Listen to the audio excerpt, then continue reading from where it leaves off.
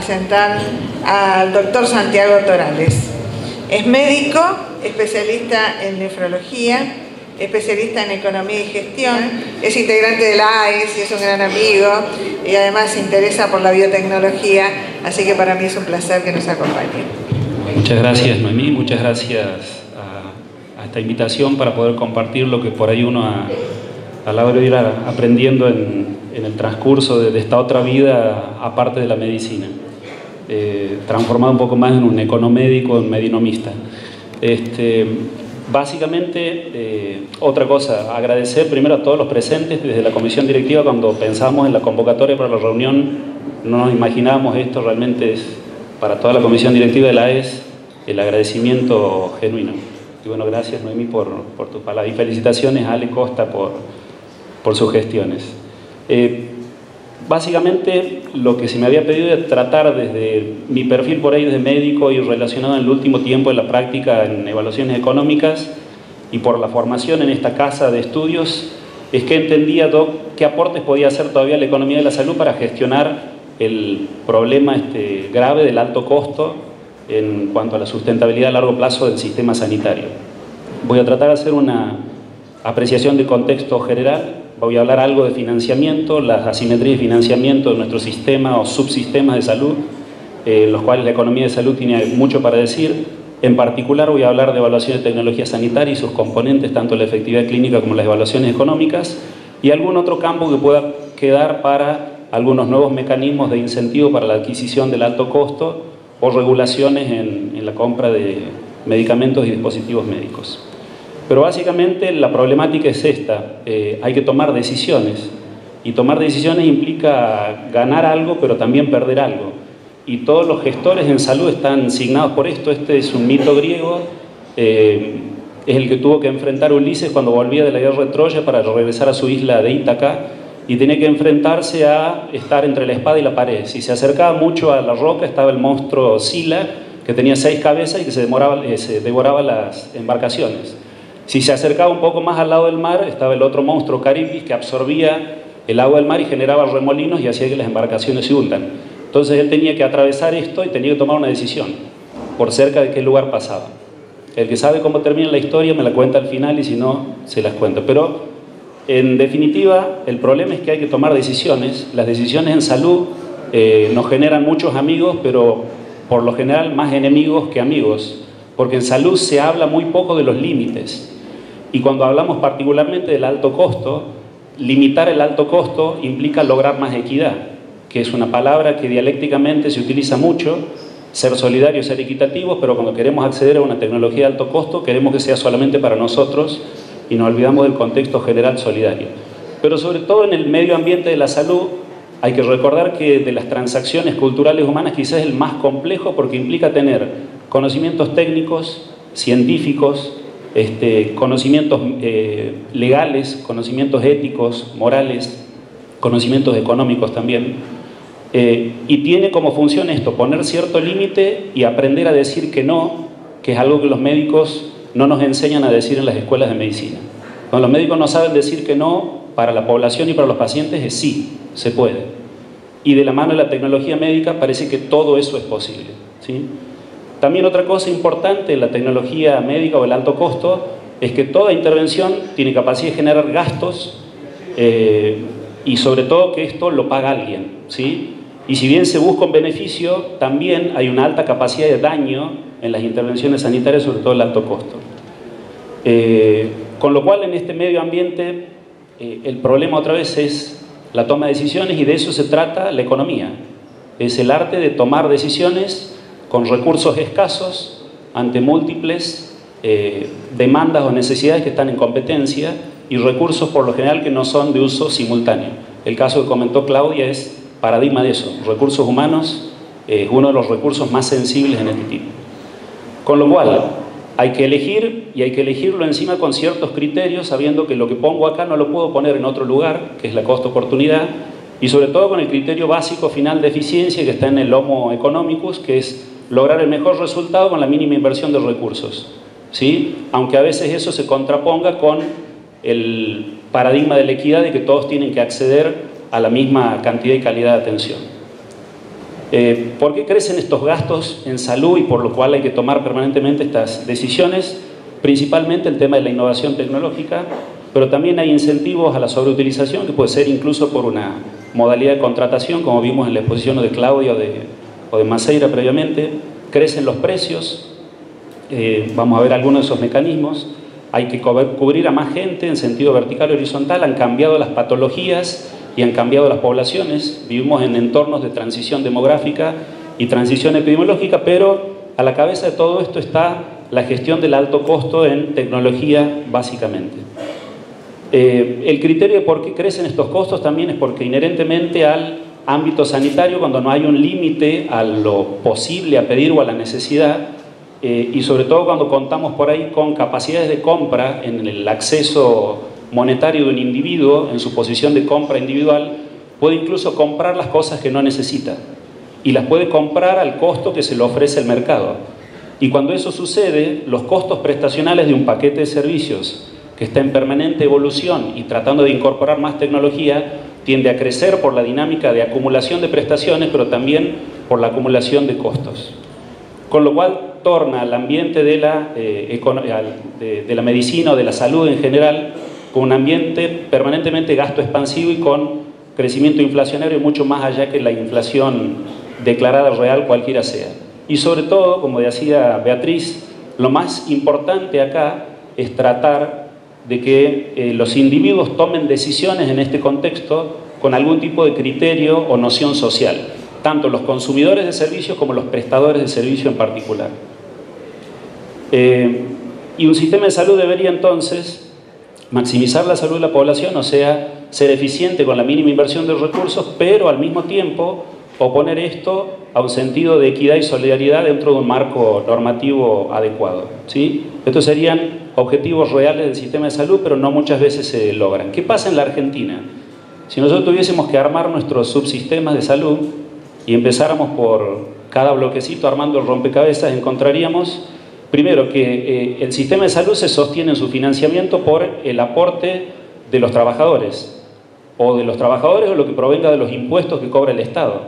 El tema es que hay mucha gente, como en muchos otros lugares de Latinoamérica, que no está en economía formal registrada, con lo cual no hace aporte eh, de sus ingresos, pero al mismo tiempo en, algunas jurisdicciones esta población incluye más del 50% de la población a cubrir y está subsidiada por la gente que tiene trabajo declarado en blanco. ¿sí? Ahí se genera una primera condición de asimetría y si este es el modelo básico de distribución de carga de atención en la parte pública este, o en la seguridad social, más o menos también como lo explicó Claudia previamente, y el aseguramiento privado, nos encontramos esta distribución regional sobre 40 millones de habitantes. ¿sí?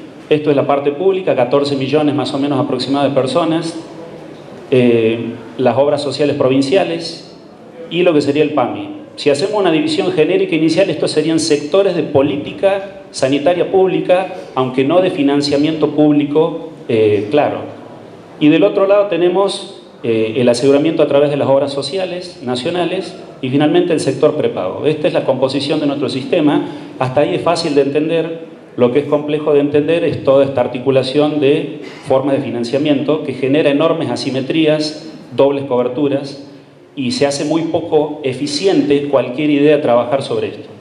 O por lo menos el paradigma de la eficiencia queda siempre en jaque ante esta organización. Principales consecuencias, cómo hacer entonces eficiente este sistema con tanta cobertura cruzada y sobre todo ante tantas, tantos actores distintos del financiamiento y la prestación, cómo lograr estos paradigmas de equidad y solidaridad. Estas son cosas sobre las cuales la economía de la salud obviamente tiene algo para decir.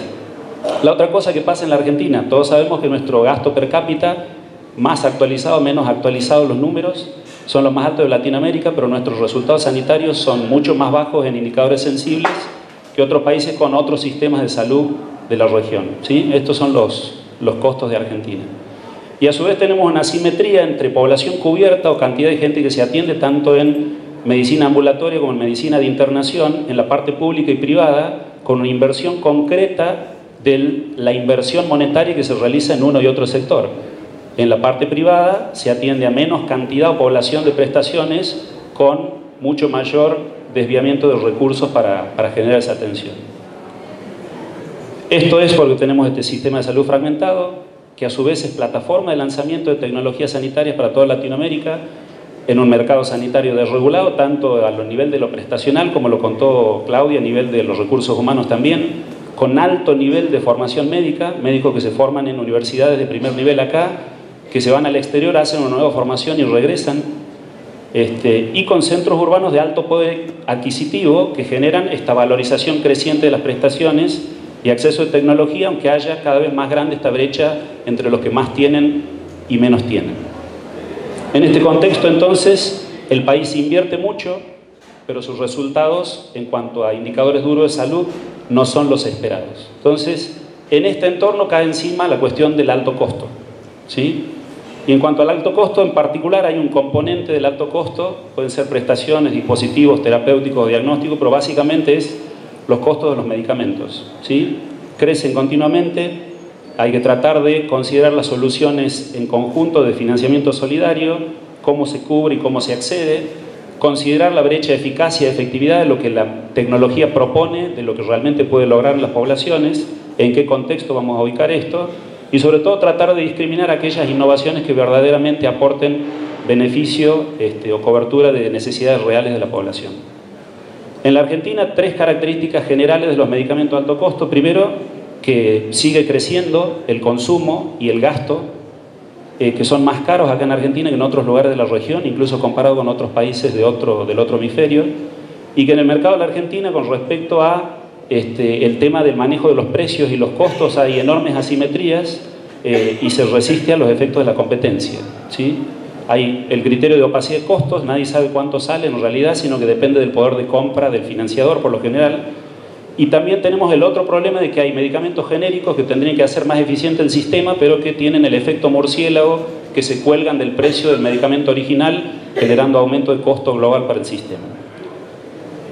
Sobre el primer punto, eh, datos en general eh, representan actualmente el costo de biofármacos, más del 10% del gasto o de los medicamentos de alto costo sigue creciendo en forma exponencial, eh, alejándose del gasto en salud un ejemplo lo tenemos acá en los datos de venta en farmacias de medicamentos convencionales versus los medicamentos de alto costo. Esto se multiplicó por 3 en este periodo de 7 años y esto se multiplicó por 7. ¿sí? Números así generales de qué está pasando con, los gastos en este, en este rubro. A su vez también sabemos que es una línea eh, que está en permanente crecimiento, el costo de los fármacos. Hace unas cuantas décadas, estos eran los números para producir un medicamento, unas décadas más tarde, los números seguían siendo los mismos, pero ordenados de diferente manera, y actualmente los números siguen siendo los mismos, pero cambió la unidad. ¿sí? Con lo cual tenemos hoy esta asimetría entre la cantidad de inversión, que es el área celeste que se necesita para desarrollar un fármaco, y la cantidad de nuevos fármacos que se desarrollan, que está en cantidad decreciente. ¿Qué quiere decir? Cada vez menos fármacos, más caros. ¿sí? Eh, los los fármacos de alto costo en la Argentina son más caros que en otras regiones. Hay un trabajo interesante de Tobar, bastante reciente. Esta es la línea de, los costos en la Argentina. Si ustedes lo tiran eh, a nivel horizontal, elijan cualquiera y miren cuánto sale en otros países el costo de estos medicamentos. Eh, no mucho más porque es demasiado gráfico este ejemplo. Hay que ver del criterio donde se toma, del poder de compra, si es precio PVP, Cairo, no importa.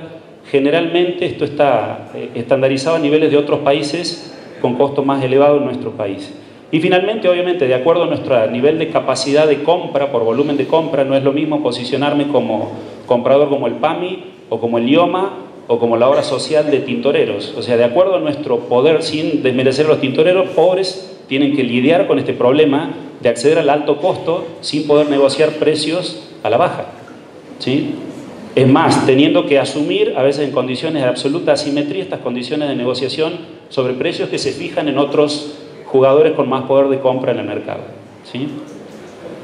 Con lo cual, eh, también existe la otra asimetría, cuando se accede a un medicamento con un recurso de amparo se fijan otros valores que no son los valores transaccionales de costo y mucho menos de precio que se puedan lograr en coberturas o descuentos. ¿sí? Y esto obedece a la opacidad del mercado. Nadie quiere decir a cuánto compra lo que compra porque le genera una exposición y lo delimita y lo limita para próximas negociaciones de precios hacia adelante.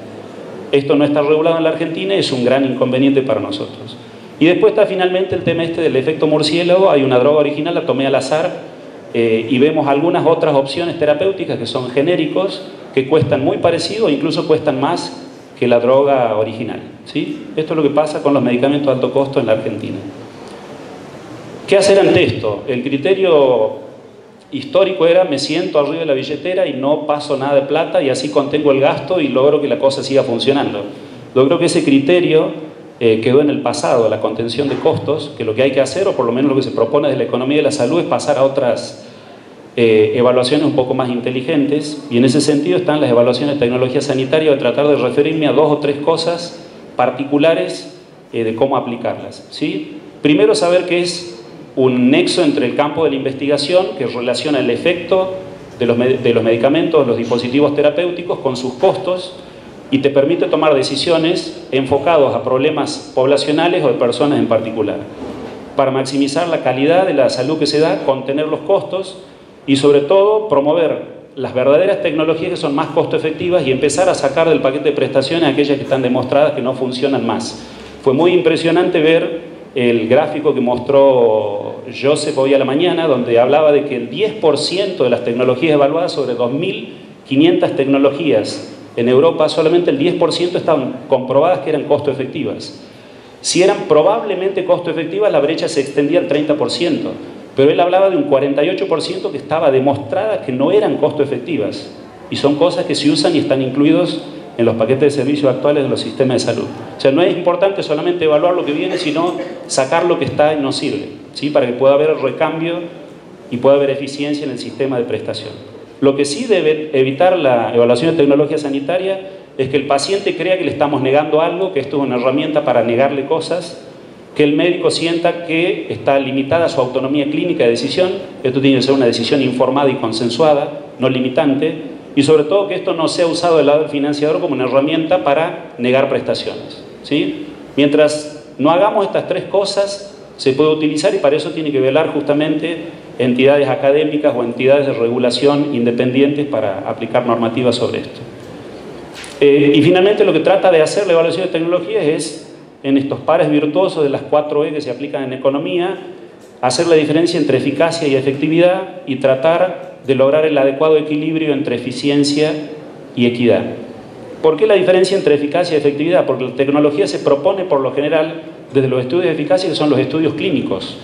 Estudios clínicos en poblaciones controladas, donde siempre pasa lo mismo y donde muy pocas veces se habla de costos, sino de un efecto definido eh, en una situación de Alicia en el País de las Maravillas, que no es la situación real clínica, que de eso habla la efectividad para calcular de una manera no precisa un ejemplito chiquitito de lo que sería la eficacia informada de un medicamento contra la efectividad real, que tiene que ver con las condiciones del sistema de salud donde esa tecnología se introduce.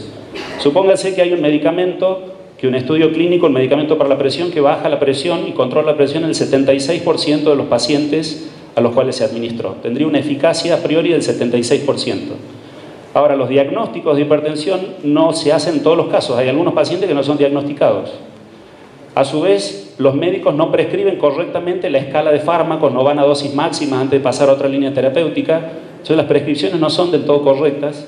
A su vez, eh, se sabe, sobre todo en este caso de enfermedades crónicas, que hay muchos pacientes que no sostienen sus tratamientos, que tienen baja adherencia a los tratamientos, o sea, la gente no termina tomando aún los medicamentos correctamente prescriptos.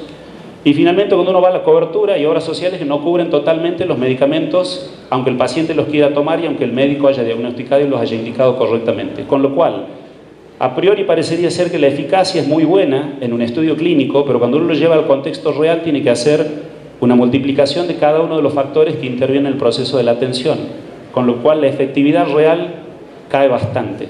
¿sí? Para llevarlo en otros términos, yo no entiendo mucho de autos, pero la tecnología sanitaria se propone como esto, que obviamente es eh, atractivo, ¿sí? da incluso por la forma como está presentado, uno quisiera tener esto. El tema es que muchas veces nuestros entornos prestacionales se parecen más a esto, ¿sí? Con lo cual yo preferiría la camioneta Ford F100 que tenía mi abuelo cuando nos llevaba en la banda a dar un paseo, que seguramente me lleva más despacio, eh, pero me hace llegar hasta el horizonte. ¿sí? Es muy probable que la Ferrari la rompa a mitad del camino con este tipo de camino. O sea, la eficacia la efectividad hay una brecha que hay que considerarla siempre. ¿sí? El otro tema es eh, que los estudios clínicos, como el Hospital eh, George Washington de la ciudad de Washington o el NIH en Bethesda es una cosa, pero esta es la realidad poblacional a 15 cuadras de la obra social provincial en la ciudad de Santa Fe, en el barrio de Barranquitas. O sea, los contextos donde aplicamos la tecnología tienen que ser siempre considerados. O sea, y de eso se trata básicamente la efectividad clínica, en dar al paciente con diagnóstico adecuado, primera pregunta para hacer, en gestión sanitaria y en auditoría médica. Segundo, si el paciente tiene el rango de edad apropiado, pues se propone por ahí tecnologías están probadas en pacientes de hasta 60 años, en pacientes de 78 años. Pacientes de 78 años que tienen un estatus funcional paupérrimo, no parecido a lo de los pacientes de los estudios clínicos.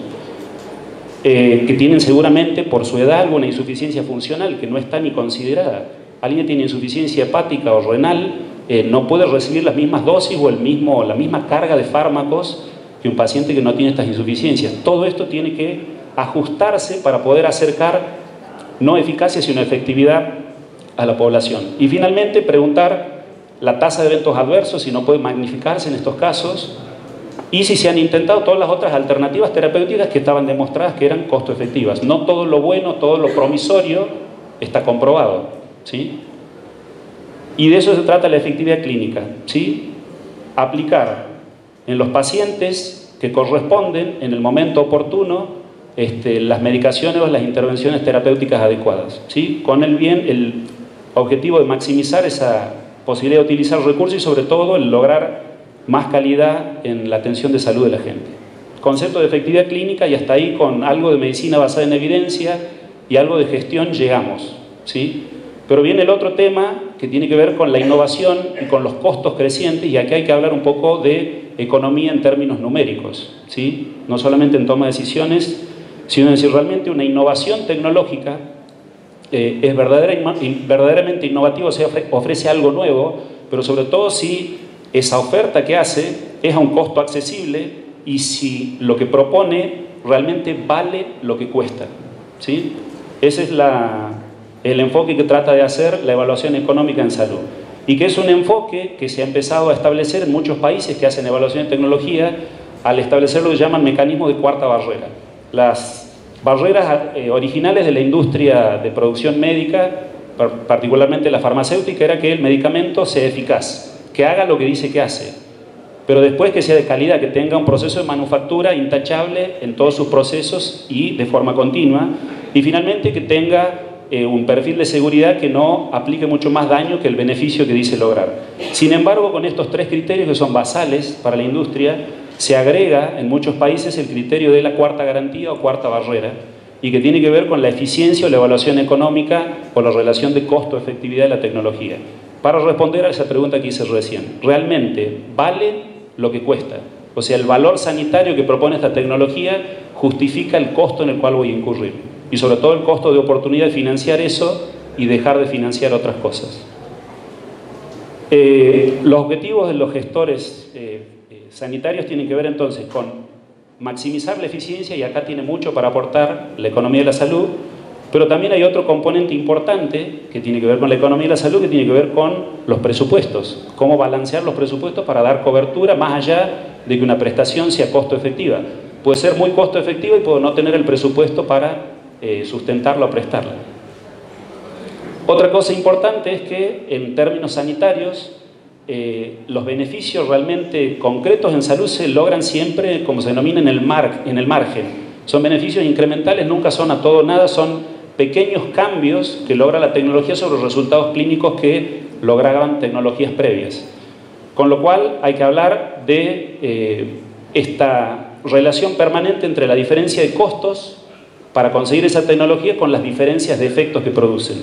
Para llevarlo a un nivel gráfico este, más comprensible, esto sería un cuadrante de costo-efectividad, plano de Drummond. Tenemos la efectividad en el plano horizontal, y los costos en el plano vertical. Si una tecnología se ubica ahí, yo tengo que hacer un cálculo de costo-efectividad.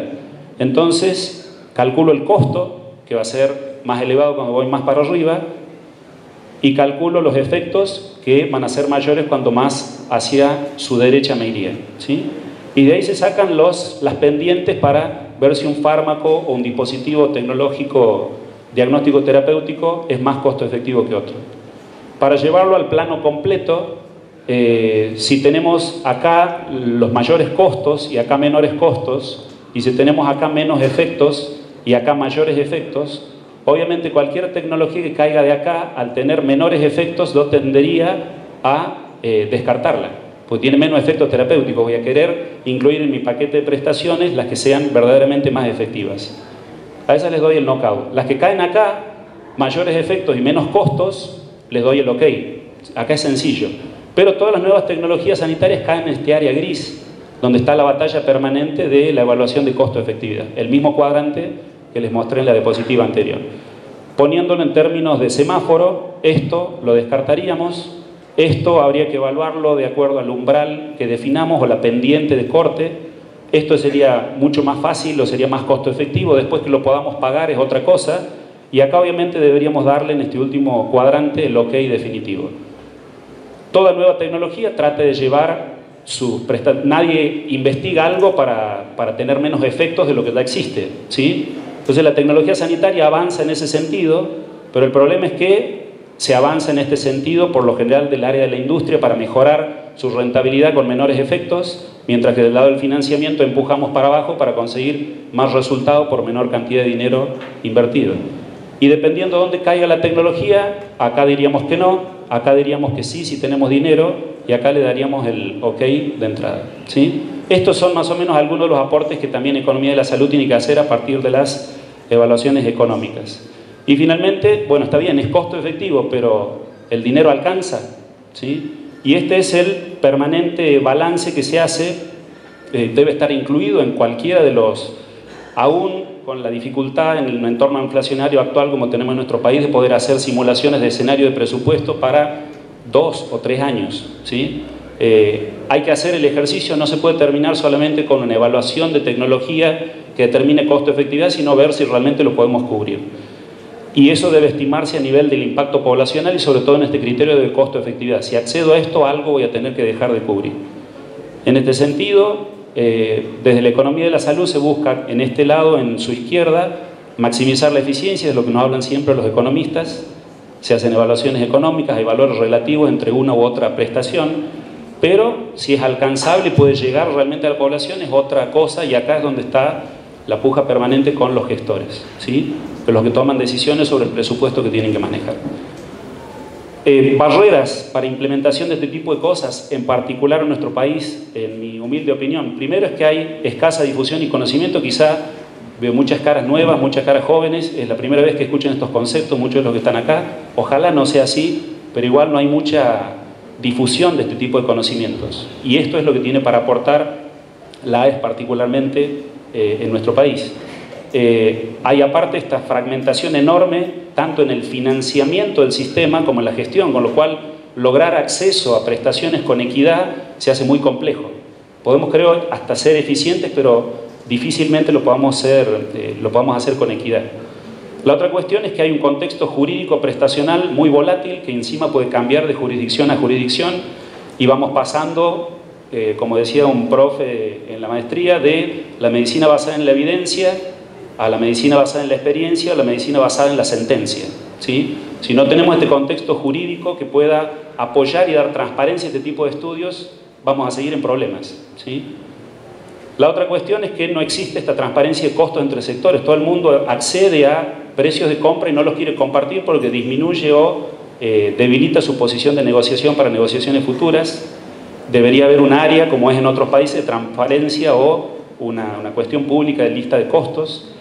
Tampoco existen validaciones de las medidas de utilidad. Acá no hay definiciones sobre eh, cómo se define un quali en la Argentina o un quali para qué patología. ¿sí? No existe ese tipo de estudios todavía eh, eh, transparentes o, definidos en nuestro país. La otra cosa, el entorno inflacionario en el cual vivimos, lo comenté recién, cómo hacer un análisis de impacto presupuestario a cinco años cuando todos están mirando a octubre o no más allá de diciembre. ¿sí? Eh, y finalmente está esta brecha entre lo que se conoce o se puede generar de la academia con lo que finalmente se hace en la toma de decisiones. ¿sí? Son algunas de las cosas que yo veo como barreras en la aplicación actual de este nivel de, de conocimiento. Y algunas cuestiones, para terminar, mecanismos de innovación en cómo acceder al alto costo. Uno podría ser los este, acuerdos de riesgo compartido. Hablamos de eso en la, en la, otra reunión de AES el año pasado en La Plata, pero básicamente es tratar de dar esta respuesta a este dilema. Está el pagador que quiere pagar, que quiere darle cobertura a su población y del otro lado está la industria que genera un dispositivo o un medicamento que no tiene la suficiente evidencia clínica y que tuvo un costo de desarrollo muy alto, con lo cual no hay acuerdo entre el resultado clínico posible con el costo de acceso. ¿sí? Eh, acá en este caso se sabe que, como en toda actividad humana, hay gente excelente, gente más o menos y gente con la cual no hay que juntarse. Yo creo que a nivel de la gestión sanitaria lo más importante es justamente proteger a las personas que tienen excelentes resultados y trabajar con ellas y no hacer un beneficio general donde eh, con la característica del free rider todos ganan este, sin mejorar la calidad de la atención de la gente, que es lo que realmente depende de la gestión que uno hace. Finalmente, este es el, entorno en el cual se mueven en la decisión eh, en cuanto al alto costo en salud, pero, y esto trata de regularse con ciertos criterios para limitar la falla de mercado, pero esto está incentivado por áreas de mercado que juegan una lógica de mercado absolutamente de hierro. O sea, se produce un nivel de tecnología y un incentivo para producción por inversión, resultado un poco distinto a las lógicas, como comentó Claudio, como se comentó sobre todo en el manejo del recurso humano y la atención de salud, que es algo un poco más complejo o que necesita ser regulado de alguna manera. Con lo cual, el desafío creo que es esto, cómo lograr este marco regulatorio con posibilidades reales de financiamiento responsablemente. Eh, en este sentido, en cuanto a las regulaciones y el acceso, hay como una cadena evolutiva y múltiples modelos, desde contención de costos, ir por listas positivas, hacer evaluaciones, hacer acuerdos de riesgo compartido, hacer acuerdos de eh, utilización de fármacos con devolución y desarrollo de evidencia, ver solamente las tecnologías de alto costo, ver todas las tecnologías, se pueden hacer muchas cosas en el camino. Y desde el lado particular del acceso a medicamento, las cuestiones históricas que hablaban sobre el, impacto en los precios, el uso racional o la calidad de las drogas, tenían que ver por lo general con compras consolidadas, algunas de estas cosas también las nombró Joseph hoy a la mañana, eh, o controles de precio o aumentar los copagos a la población. Habría que generar por ahí otros mecanismos de innovación en la regulación y la compra, que tendría que ver con el incentivo hacia la utilización de genéricos, prescribir las monitorizar, eh, eh, monitorizar perdón, las prescripciones, que quiere decir aplicar efectividad clínica, que las prescripciones tengan una tutela y sigan un protocolo y una guía, y hacer listas positivas donde se incluyan las cosas que realmente son verdaderamente útiles y cubren necesidades reales de la población. Y en cuanto al riesgo compartido, para cerrar, eh, cuándo habilitarlo y cuándo no. Cuando llega una tecnología donde claramente esto no va a aportar nada, yo puedo decir, no, esto, este producto es malo. El problema es cuando aparece algo promisorio y no probado, es cómo lo podemos hacer realmente accesible a la población, porque la idea en definitiva es tratar de hacer sinergias para lo que viene. ¿sí? El alto costo llegó para quedarse, el tema es cómo lo gestionamos. Y la idea no es no gastar, sino gastar bien, Así de sencillo, ¿sí? Pero esto requiere acuerdos con todas las partes. Eh, por un lado la industria, que aporten este tipo de evidencias, ¿sí? costo efectivo e impacto presupuestario transparentes, el uso rentable de medicamentos, que se hagan registros posteriores a la comercialización que no incentiven la prescripción off-label, ¿sí? los financiadores que amplíen la perspectiva, que no se sienten en la billetera solamente, sino que vean otras maneras de evaluar lo que llega, explicitar los criterios para pagar por las prestaciones, que no haya demoras en los pagos, evaluar también el uso actual de las cosas que parece que funcionan y en realidad ya son obsoletas. Para los actores del sistema de salud prestacionales, incluir consideraciones económicas en las guías, no solamente los protocolos y las guías de las asociaciones o sociedades científicas, sino con algún perfil de costo-efectividad, ¿sí? que está faltando eso. Eh, y la otra, tratar de abogar por esta doble visión al momento de la toma de decisiones, el paciente individual y el contexto eh, de, seguridad social o de función de, sociedad. Y finalmente para el sistema sanitario en generar estas alianzas que creo que son posibles y más que posibles, eh, absolutamente necesarias. Para concluir, usar herramientas de economía de la salud para gestionar los alto costo, hay que hacerlo, en cada caso particular, para cada tecnología corresponde, pero llevar los datos académicos para la toma de decisiones necesita decisiones políticas y capacidad técnica para realizarlas, ¿sí?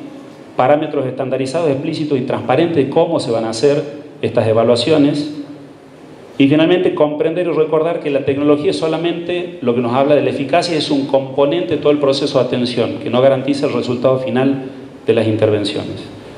Para terminar, una frase de Eduardo Valeno, porque en realidad todo esto parece complejo de lograr, pero creo que está resumido en esta frase. ¿sí? Uno tiene que ir dando pasos eh, y el horizonte sirve solamente para eso, ¿sí? para, para caminar. Eh, para terminar, eh, qué pasó con Ulises. ¿Llegó al final o no llegó a Ítaca? ¿Alguien sabe qué pasó? Ulises al final logró pasar, pero ¿qué hizo? Puso a sus seis marineros más enfermos, que estaban más estropeados por la guerra, los puso en la proa del barco, se acercó a la piedra, el monstruo que tenía seis cabezas agarró a cada uno de los marineros y él siguió. Con lo cual este, pagó un costo, ¿sí?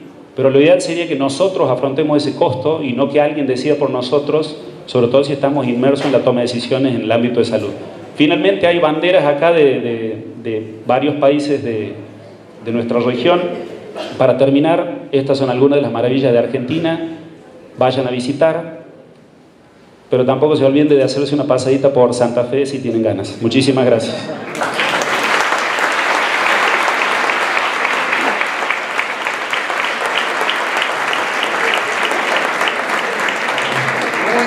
Gracias Santiago, excelente presentación. Bueno, yo creo que aquí surgen miles y miles de preguntas. Ayer Ginés en su presentación nos decía que había eh, medicamentos monoclonales en algunas partes del mundo salían un dólar su fabricación, en otras partes del mundo se vendían a 10 y en países en subdesarrollo como el nuestro a 100.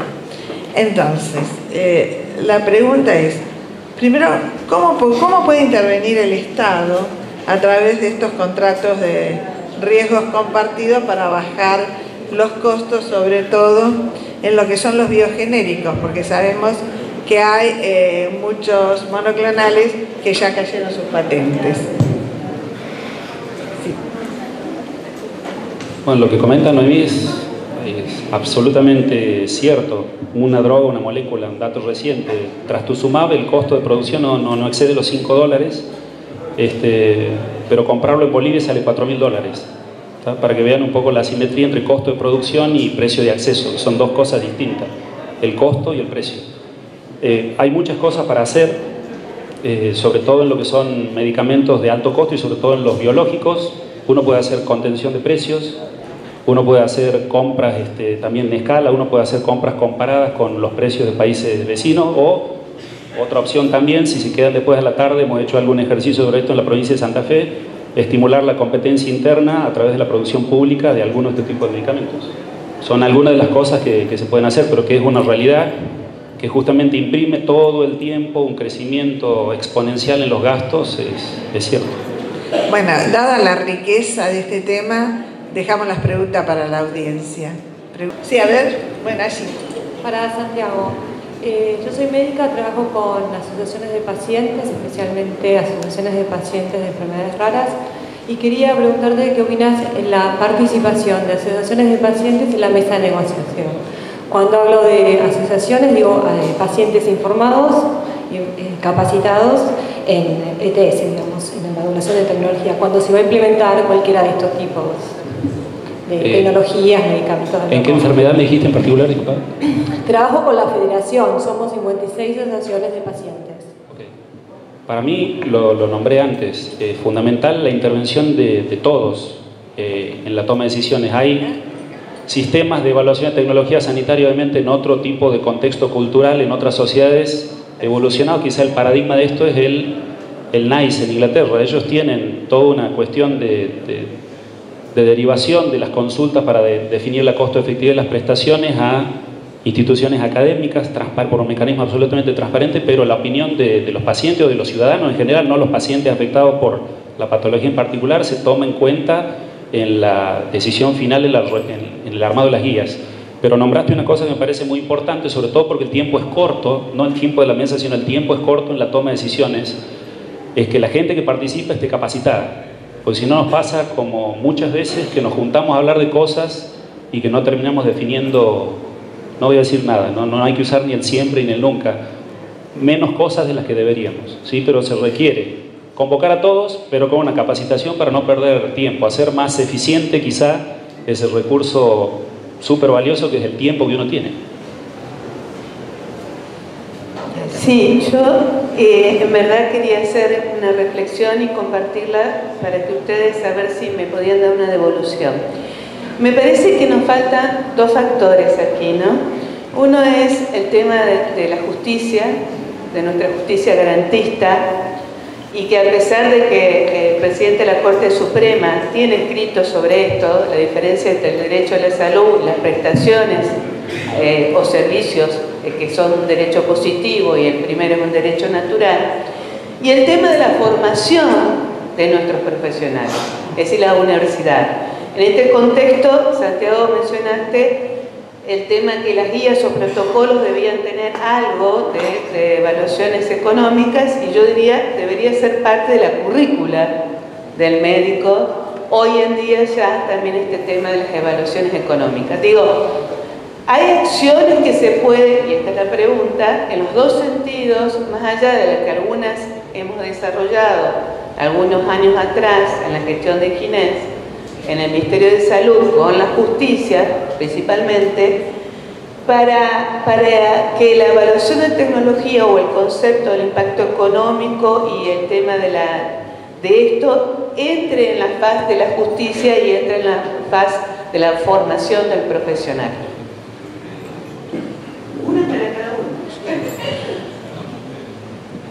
yo lo que puedo comentar es que Isalú hizo una investigación con un centro como eh, primo del Centro de Derecho Sanitario y Bioderecho que tenemos acá de Brasil.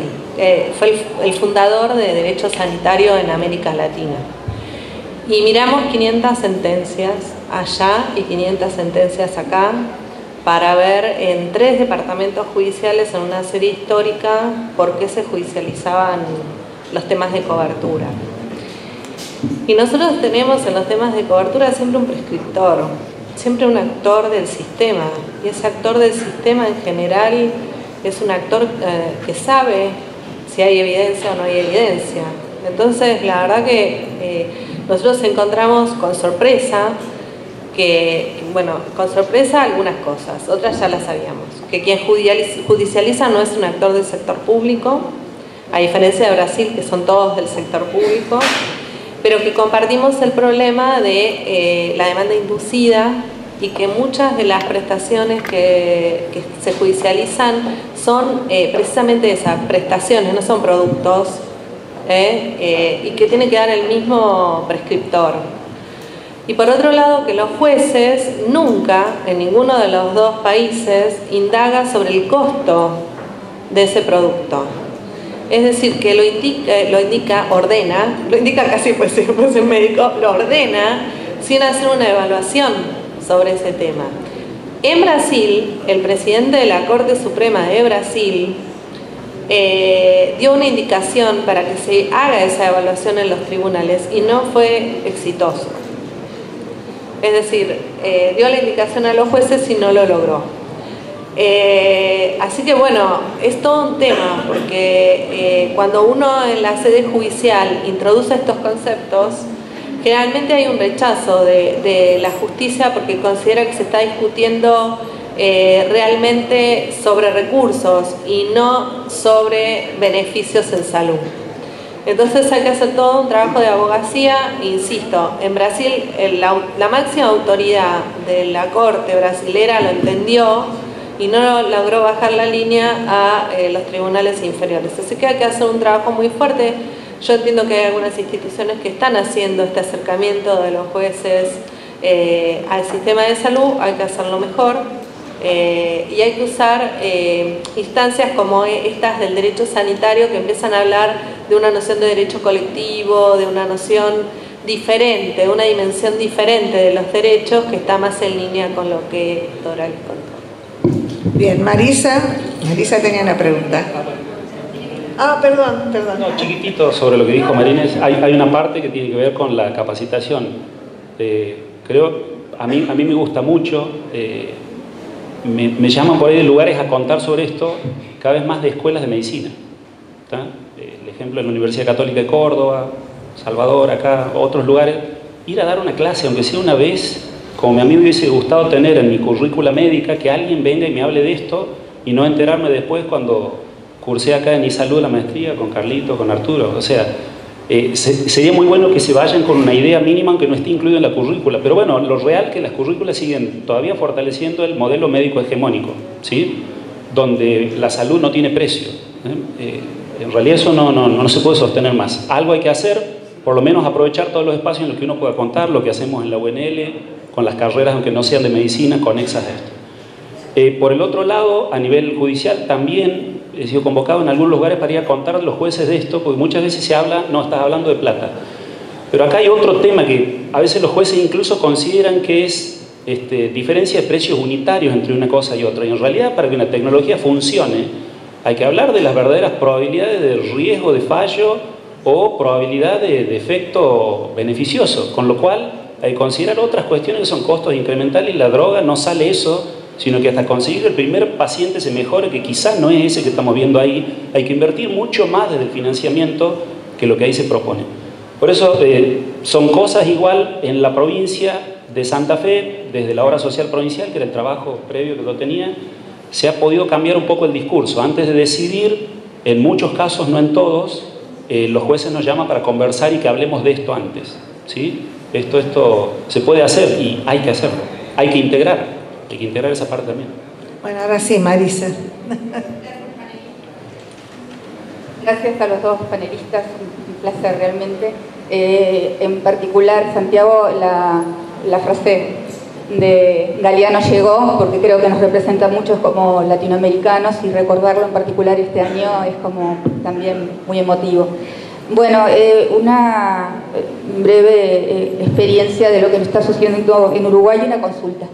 Eh, el Fondo Nacional de Recursos, tú lo conoces muy bien y bueno, y varios de los compañeros de acá, efectivamente hace, para, a través del financiamiento público, los estudios de creo que muy rigurosos, un excelente staff técnico, rigurosos de todas las etapas que tú planteaste hasta llegar incluso al impacto eh, presupuestal con base poblacional de manera de poder hacer las proyecciones este, presupuestales por lo menos eh, para cada periodo del gobierno, o sea, para cinco años creo que está bastante bien. Pero el tema es que eh, esos protocolos que son muy estrictos, cada vez hay más situaciones en las cuales se requieren, se demandan eh, extender el uso, ya que, por ejemplo, los MAC están disponibles y financiados para otras indicaciones en las cuales están en etapa experimental e incluso eh, se puede afirmar rotundamente que ningún país de los de mayores ingresos está ni siquiera en sus listas. ¿no? De, hace muy poquito, titulares de la prensa eh, bueno, nuestro presidente eh, es oncólogo, este, eh, autorizó financiación pública de un medicamento que está protocolizado para que, guiado por otro oncólogo, se supervisara un tratamiento de un niño. Obviamente hubo toda una movilización social, presión de los, gremios. ¿ah? Bueno, se autorizó financiación pública para ese caso. Bueno, eso como contexto y, digo como un ejemplo más de lo que planteaste en forma estupenda. Eh, quisiera si podés eh, profundizar un poquitito más, porque es uno de los temas que para nuestro país por lo menos es importante, eh, lo nombró Figueras, ese 40% de que lo que hacemos no tiene ¿no? evaluación, costo efectivo, etcétera, etcétera, Ahora, son consideradas prácticas habituales para todos los actores, para los clínicos, para el equipo de salud, para el usuario. Eh, nosotros tenemos un plan integral de atención a la salud, ustedes tienen el PMO, están dentro de esos listados que la gente conoce. Eh, ¿Cómo sacás? Eh, ¿Me entendés? O sea, desde el punto de vista concreto del proceso de toma de decisión y esa excelente eh, imagen que pusiste, eh, ¿cuál es la experiencia o qué podés comentarnos en relación a eso? Porque no lo veo en Uruguay, por eso te lo pido. Es más, aún así, eh, yo tengo una envidia, una sana envidia por Uruguay, porque son un, país de 3 millones y medio, un poquito más de habitantes, la misma cantidad de habitantes de la provincia de Santa Fe. Y ya tienen una organización con una agencia de evaluación de tecnología que hace este tipo de cosas. Pero es muy importante lo que vos decís y se asienta en esto que todo nombraba. Primero tiene que haber mucho más gente que trabaje en esto. Yo creo que si no han llegado a limpiar ese 40% de prestaciones que no sirven más es porque hay una inercia clínica donde se siguen haciendo las cosas que no funcionan. Yo a los que son médicos acá les pregunto qué hay que hacer con una úlcera de córnea. Todos van a decir que lo primero que hay que hacer, aparte de poner antibióticos, lo que sea, es ponerle un parche en el ojo al paciente. Eso no tiene ninguna evidencia de que mejore la curación o no y cosas que tienen una enorme evidencia y un enorme impacto poblacional como la prevención secundaria en cardiopatía isquémica, nadie indica una aspirina de 50 miligramos a un paciente postinfarto. No solamente acá, sino en grandes países donde eso reduciría enormemente las ineficiencias en el gasto de los sistemas. Creo que sí tiene que haber un grupo de gente, no solamente que evalúe lo que llega, aunque eso es lo que más presión tiene porque viene con costo, sino que para poder financiar lo que llega de manera razonable hay que sacar lo que se hace mal. Ese 40% tiene que haber, o sea, y la otra cosa que estas son herramientas que permiten hacer informaciones. La toma de decisión final depende de algunos componentes como el político que vos nombraste, pero todas las tecnologías pueden ser verdad hoy, pero pueden ser obsoletas dentro de un año, con lo cual hay que revisar permanentemente, pero para hacer todos esos procesos, lectura, revisión, ni hablar si uno pone el componente económico, se necesita mucha gente formada en mecanismos independientes y explícitos para los cuales obviamente se requiere algo que también nombró Joseph.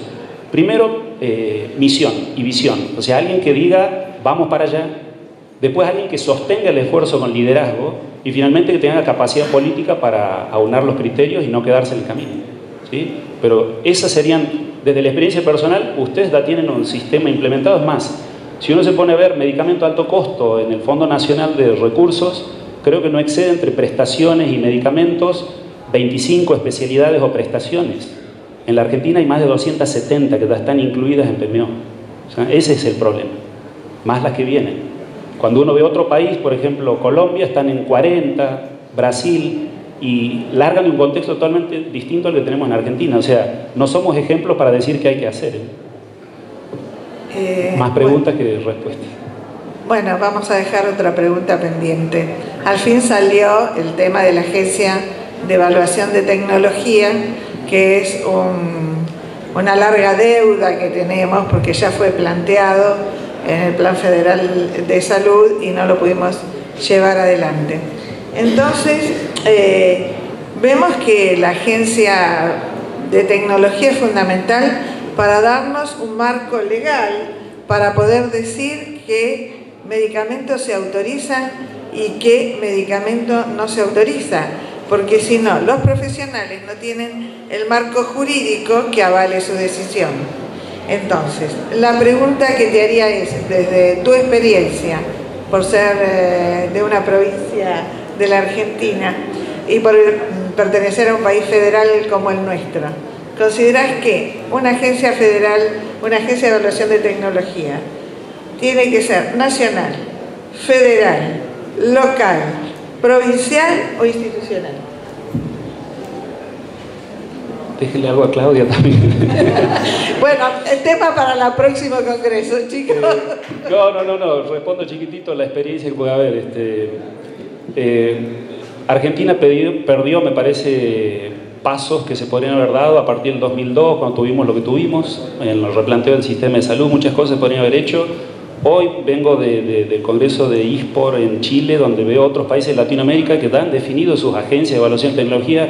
Tienen una agencia que regula la entrada o no para comercializar o no un medicamento, una tecnología que sería nuestro ANMAT, pero tienen entidades independientes que generan el fondo para bancar el alto costo, pero también para hacer evaluación independiente, haciendo intervenir universidades. O sea, hemos perdido mucho camino, muchos casilleros en esto. Creo que hay que hacerlo creo que se puede hacer una agencia nacional. Nosotros tenemos un modelo chiquitito de una agencia provincial también, que obviamente requiere aunar cuestiones políticas, que interactúa mucho con esto que nombraba también Marinés de contemplar la parte jurídica, pero, pero sí creo que es una necesidad del país. Es una necesidad. Que sea posible hacerlo depende de, de todos. Bueno, excelentes expositores. Gracias por el tiempo, gracias por los asistentes, por quedarse hasta tan tarde. Damos por terminada la mesa y creo que el tema para